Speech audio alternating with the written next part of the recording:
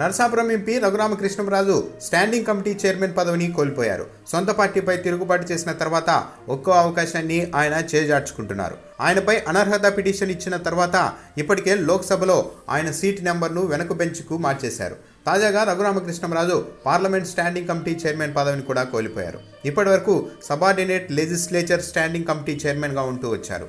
YCP కోటాలో ఆయనకు గతేడాది ఆ పదవి దక్కింది. ఆయన స్థానంలో బాలశౌరి పేరును వైసీపీ సూచించడంతో సబార్డినేట్ లెజిస్లేచర్ స్టాండింగ్ కమిటీ చైర్మన్గా బాలశౌరిని నియమించారు. ఈ మేరకు లోక్సభ సచివాలయం ఒక ప్రకటన విడుదల చేసింది. రఘురామకృష్ణంరాజు తొలగింపు అక్టోబర్ తొమ్మిది నుంచే అమల్లోనికి వచ్చినట్లు లోక్సభ సచివాలయం ప్రకటించింది. అయితే స్టాండింగ్ కమిటీ నుంచి తనకు ఉద్వాసన పలకడంపై రఘురామకృష్ణంరాజు స్పందించారు. తనను పదవి నుంచి తొలగించలేదని పదవీ కాలం ముగియడంతో రెన్యువల్ చేయకుండా తన స్థానంలో బాలశౌరిని నియమించారని చెప్పారు.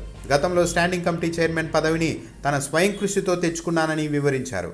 తనకు వైసీపీ ద్వారా సభ్యత్వం రావడంతో ఇప్పుడు లక్కీగా తన స్థానంలో బాలశౌరికి అవకాశం లభించిందన్నారు.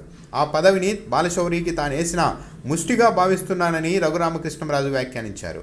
తనపై త్వరలోనే అనర్హత వేటు పడుతుందని కూడా కొందరు ప్రచారం చేస్తున్నారని అందుకోసం ప్రయత్నించుకోవాలని సవాల్ చేశారు.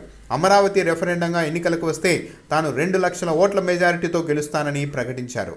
నేరుగా ముఖ్యమంత్రి జగన్మోహన్ రెడ్డి పోటీ చేసినా సరే ఆయన్ను రెండు లక్షల ఓట్ల తేడాతో ఓడిస్తానని సవాల్ చేశారు రఘురామకృష్ణంరాజు.